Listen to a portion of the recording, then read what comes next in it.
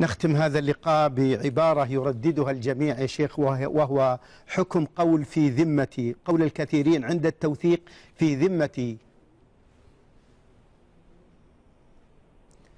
إذا كان يقول هذا من باب الإقرار في ذمتي لفلان كذا وكذا من الدين أو من الحقوق فهذا لا بأس به.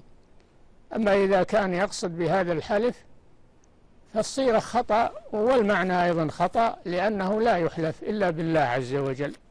اترك هذا الشيء. نعم.